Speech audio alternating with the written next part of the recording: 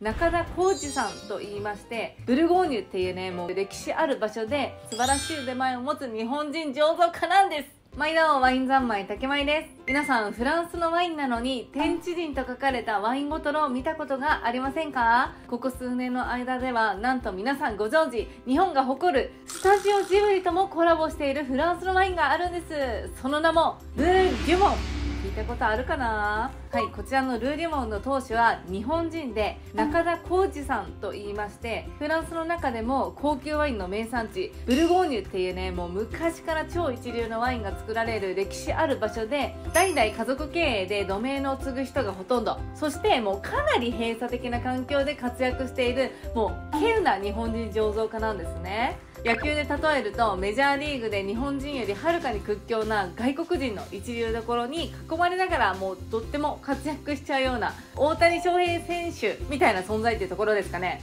かっこいいですよね。はい。しかも日本人が異国の地でねただねワインを作ってるっていうだけじゃなくってブルゴーニュの神様であまりね人のことを褒めないことで有名なあのアンリ・ジャイユ様が実際に飲んで認めたほど素晴らしい腕前を持つ日本人醸造家なんです。またねそのご活躍は日本でも注目されていて2004年から現在までもう500回以上放送されている大人気番組 NHK の「プロフェッショナル仕事の流儀」にて、まあ、2018年の1月8日に「いつだって人生は楽しい」てこうプロとして中田浩二さんががっつりと取り上げられてます。あの私ももう2018年はソムネ取って2年後になりますし、まあ、ミスワイン受けた年でもあるんですけど見てました。何回も見てた録画して。他には国内外で大人気のワイン漫画「神の雫」でも数十ページを使用してもうがっつりと中田さんのワインが紹介されています。そんな中田さんが手掛けるワインを飲んだことがない人がいたら絶対にもったいないしお値段もね2000円くらいのワインもあるから機会を見つけて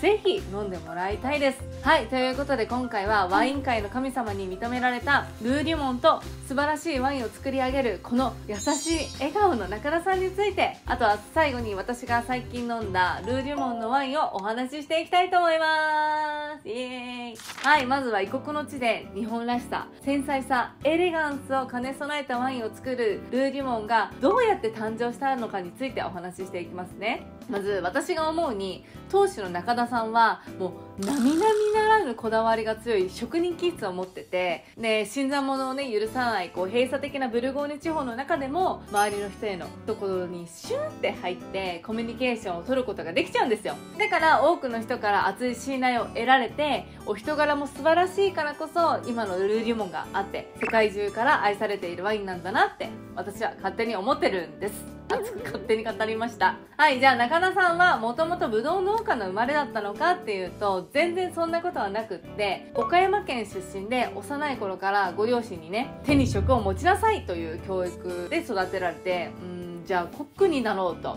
日本のフレンチレストランでアルバイトをしていたそうなんですよ。でその大学生の時にワインと出会うわけなんだけど、まあ、出会うって言ってもさ多くの人がさワイン飲んであ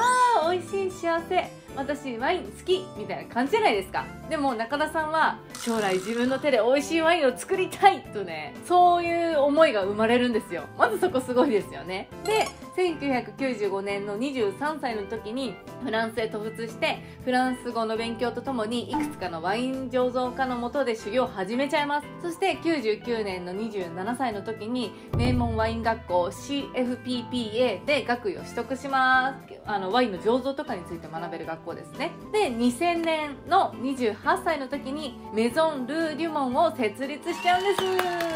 28歳だから今の私よりも若いですからね。いや素晴らしい行動力ですね。で最初は農家さんから買い付けたブドウを使用してワインを作るっていうネゴシアのみを行ってたんだけど2008年の36歳の時にもうずっとね夢であった自社ブドウ畑を手に入れることができブルゴーニュ地方の中でももう本当に最上級のワインが作られることで有名なジュブレ・シャンベルタ村に自分の醸造所カーブを作っちゃうんですよ。はい、ざっくりですが、こんな感じの流れでね、今のルーリモンの基盤が出来上がります。こうやってさ、話にしてまとめちゃうと、なんか、トントン拍子でことが進んでるように感じますけど、いやもうマジでブルゴン地方なんて、何百年も歴史があるんですよ。うん。そんな名城地。で、9割が代々続く家族経営なんです。だそんな中さフランスからしたら、まあ、日本人なんて外国人なわけなんですよね。畑を持つなんてここまで実現できたのはいや本当に中田さんは努力と行動力の鬼なんだと思う。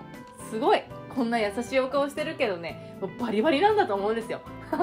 はいではここからはどんなワインがあるのか4つのラインナップについてお話ししていきます。まず1つ目。一番手に取りやすい価格でルーデュモンを飲んだことがない方にぜひね最初に試してもらいたいのがこちらです。ルーデュモンシリーズ。はいめちゃめちゃあの名前シンプル。でオレンジ色のラベルに天地人と書かれている、まあ、定番のシリーズですね。でこれはネゴシアンとして買い付けたブドウを醸造してワインを作ってリリースしたっていうものです。で私も初めて飲んだのはこのルーデュモンシリーズだったと思います。もうね6年とか前の話だから詳細はねどこの畑だったとか無駄だったか覚えてないです。ごめんなさい。でそして気になる価格帯は幅が広くってお安いものだと2500円くらい。高いもので数万円とあります。でもまあ多くは1万円以内で買えちゃいますね。ちなみに漫画「神の雫」に取り上げられたワインはこちらのシリーズなんだけど、はい、こちらの9巻に掲載されてます。で漫画内ではフランスブルゴーニュの味と日本のエキゾチックさが融合した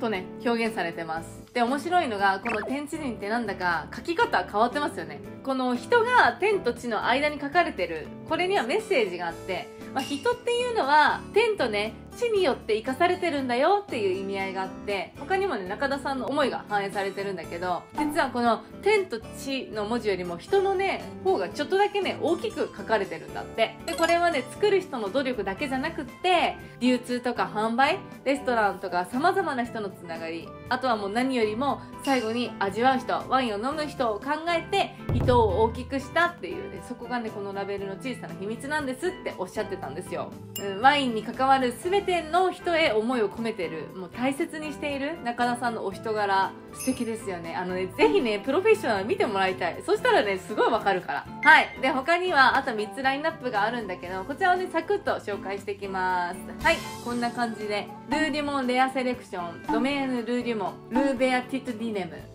はい、以上の3つですね。まだね、あの、私も飲んだことないのがもちろんあるので、とっても気になってます。はい、ちなみに私が最近飲んだのは、ルーデュモンレアセレクションシリーズで、シャブリグランクリューでプルーズ2007年ヴィンテージお値段7300円くらいですねでしゃぶりって聞くと皆さんすごいすっきりとしていてなんか爽快なさん元気はつらつなさんっていうイメージを持っている方が多いと思うんだけどこれはねもうすごくリッチで、まあ、グランクリューですから特級畑だからねお日様をたくさん受けて育ったブドウでボディが豊満なんですよリッチな感じ。であの果実で言うと桃とかあんずをギューって潰して出てくる蜜のような凝縮した果汁を感じられるワインです。とっても美味しかったです。で今度ね自社畑のワインも飲んでみたいんですよね。どんどんね拡大してってるんですって。はいということで皆さんいかがでしたでしょうか？現在中田さんのワインはフランス国内向けは5%ほどでそれ以外の大部分ははいこのように様々な国に輸出されてます。多いですよね。